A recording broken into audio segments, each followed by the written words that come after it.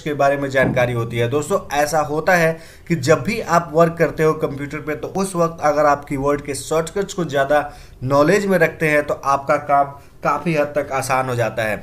तो दोस्तों, अगर अभी तक आप नहीं जानते हैं कीवर्ड शॉर्टकट्स के बारे में तो देखते रहिए हमारा चैनल इसमें मैं बताने जा रहा हूँ डिफरेंट डिफरेंट कीवर्ड शॉर्टकट्स के बारे में, जिसका आप आमतौर पर यूज़ कर। सबसे पहले हम बात करते हैं कॉपी और पेस्ट की।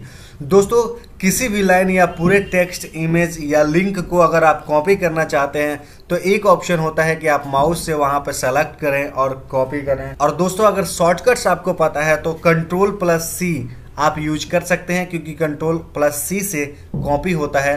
अगर आप किसी चीज़ को मैटर को वहाँ से हटा के दूसरे जगह पेस्ट करना चाहते हैं, ऐसे में दोस्तों आप कट कर सकते हैं। कट करने के लिए दो तरीके, एक आप माउस का इस्तेमाल कर सकते हैं, दूसरा कंट्रोल प्लस एक्स अगर करते हैं तो वो जो कंटेंट होगा वो कट हो जाएगा और आपके क्लिक बोर्ड में अवेलेबल रहेगा, जहाँ पे आप चाहें उसको पेस्ट कर सकते हैं। दोस्तों, इसके बाद बात करते हैं पेस्ट करने की। दोस्तों, कोई भी इमेज या तो आपने कॉपी किया या पेस्ट किया तो ऐसे में ज़रूरत होती है कि हम इसको किसी जगह पे, किसी पर्टिकुलर लोकेशन पे पेस्ट करें। तो ऐसे में दोस्तों, आप कीवर्ड शॉर्टकट्स के रूप में कंट्रोल प्लस भी का इस्तेमाल कर सकते हैं। दोस्तों कभी कभी ऐसा होता है कि कोई चीज़ आपने कर दिया और आपको बैक जाना है। ऐसे में दोस्तों कंट्रोल जेड का इस्तेमाल, जिसे एंडू कहते हैं, आप कर सकते हैं। इसके बाद बात करते हैं डिलीट की। दोस्तों आम तौर पे क्या होता है कि किसी फ़ाइल को डिलीट करने के लिए हम कोशिश करते हैं, ऐसे में माउस के यूज़ करके हम डिलीट को क्लिक करते हैं। तो दोस्तों, अगर शॉर्टकट्स की बात करते हैं तो आपके कीबोर्ड्स पे डिलीट का बटन होता है, आप उसका इस्तेमाल कर सकते हैं और वो फ़ाइल डायरेक्ट डिलीट हो जाएगा। दोस्तों, इसके बाद बात करते हैं कि कोई भी फ़ाइल अगर आपने डिलीट कर दिया तो वो फ़ाइल जनरली साइकिल बीन में जाके प्लेस हो जाता है।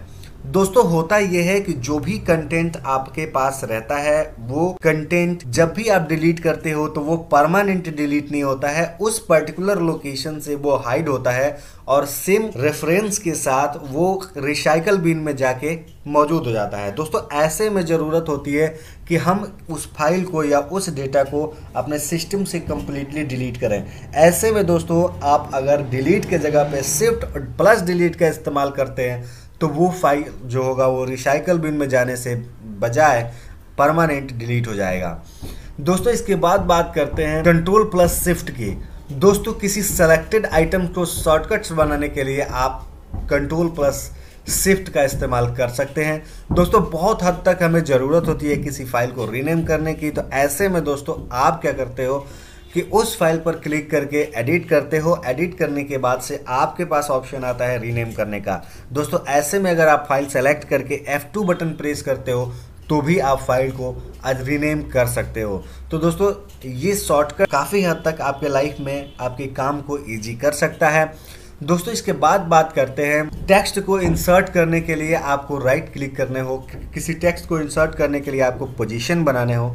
ऐसे में दोस्तों, आप कंट्रोल के साथ एरो वर्ड का इस्तेमाल कर सकते हैं। अगर आगे जाना है तो एरो बैक आना है तो पीछे, ऊपर जाना है तो आप एरो और नीचे जाना है तो डाउन एरो का इस्तेमाल आप कर सकते हैं। इससे आपको काफ़ी हद तक फ़ायदा मिलेगा लाइन की चेंज करने पर।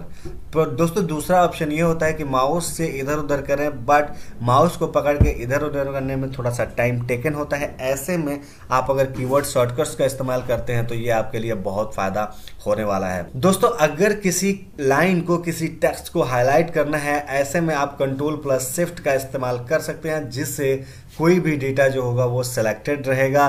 शिफ्ट का इस्तेमाल एक से ज़्यादा किसी आइटम टेक्स्ट या लिंक को सेलेक्ट करने के लिए शिफ्ट का इस्तेमाल कर सकते हैं। जैसे कि हमारे पास अगर पाँच से सात लिंक है और आप किसी एक लिंक को सेलेक्ट करते हो और इसके साथ आप चाहते हो कि दो तीन लिंक और सेलेक्टेड रहें तो ऐसे में आप इसका इस्तेमाल कर सकते हैं।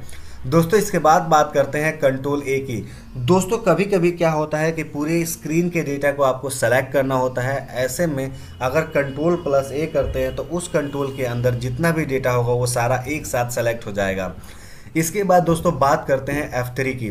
दोस्तों, अगर पूरे फोल्डर्स के अंदर, पूरे फाइल्स के अंदर फोल्डर्स के अंदर अगर कुछ सर्च करना हो तो ऐसे में अगर आप F3 का इस्तेमाल करते हैं तो इससे आपको फ़ायदा मिलेगा।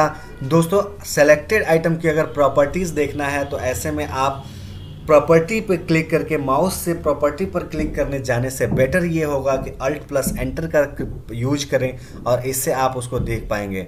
दोस्तों, किसी एक्टिव प्रोग्राम को बंद करने के लिए या कंप्यूटर को टर्न ऑफ़ करने के लिए आप डायरेक्ट अल्ट एफ़ फोर का इस्तेमाल कर सकते हैं। दोस्तों, किसी एक्टिव विंडो में शॉर्टकट्स मेनू ओपन करने के लिए आप अल्ट प्लस स्पेस बार का इस्तेमाल कर सकते हैं, जिससे कि वो ओपन हो जाएगा। दोस्तों, इसके बाद बात करते हैं प्रोग्राम में एक्टिव डॉक्यूमेंट को बंद करने के लिए। दोस्तों, अगेन आप इसका इस्तेमाल कर सकते हैं कंट्रोल प्लस एफ़ फोर का। बहुत सी विंडोज़ में से किसी एक विंडोज़ में आपको वर्किंग करना है तो ऐसे में टैब शिफ्टिंग की ज़रूरत होती है और टैब शिफ्टिंग के लिए आप कल्ट प्लस टैब का इस्तेमाल कर सकते हैं। दोस्तों, प्रोग्राम जैसे ही जैसे जैसे ओपन हुए, उनको एक सीरियल में लगाने के लिए आप अल्ट प्लस स्पेस का इस्तेमाल कर सकते हैं। इससे आपको काफ़ी हद तक फ़ायदा मिलने वाला है। दोस्तों, अगर अपने ब्राउज़र के एड्रेस बार में कर्सर बार ले जाकर एक्टिव करना है तो ऐसे में आप अगर F6 को उपयोग का उपयोग करते हैं तो यह आपके एड्रेस बार में एक्टिव हो जाएगा। दोस्तों, इसके बाद बात करते हैं कंप्यूटर माई कंप्यूटर और विंडोज़ एक्सप्लोरर में एड्रेस डिस्प्ले करने के लिए, करने में अगर आप F4 का इस्तेमाल करते हैं तो यह आपके लिए इजी होगा। दोस्तों, अगर राइट क्लिक मेन्यू खुल जाता है, अगर आपको राइट क्लिक मेन्यू खोलना होता है, ऐसे में शिफ्ट F10 का इस्तेमाल कर सकते हैं। दोस्तों एक्टिव विंडो में एक्टिव मेन्यू को ओपन करने के लिए आप अल्ट प्लस स्पेस बार का इस्तेमाल कर सकते हैं। स्टार्ट मेन्यू के यूज़ करने के लिए अल्ट प्लस स्पेस बार का इस्तेमाल कर सकते हैं। दोस्तों, अगर डिस्प्ले करना है आपको करस्पॉन्डेंट मेन्यू को, ऐसे में आप Alt plus underline letter in a menu name का इस्तेमाल कर सकते हैं।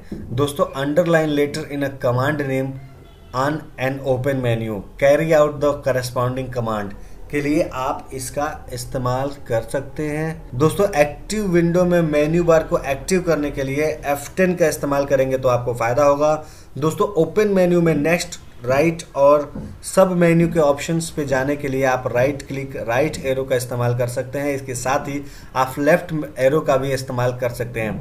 दोस्तों, अगर किसी आपको विंडोज़ को फ्रेश करना है, ऐसे में आप F5 का इस्तेमाल कर सकते हैं। अगर आप डेवलपर हैं और आपको बिल्ड करना होता है किसी एप्लीकेशन को, ऐसे में भी आप F5 का इस्तेमाल कर सकते हैं।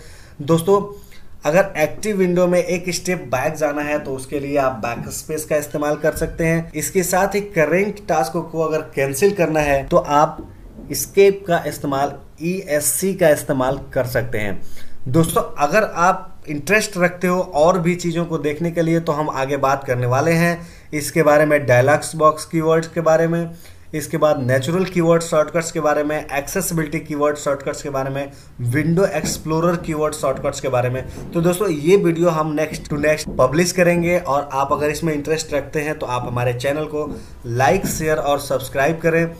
जिससे कि आप जब भी हमारा वीडियो अपलोड होगा, उसका नोटिफिकेशन आपके ईमेल बॉक्स में मिल जाएगा। So thank you very much for watching this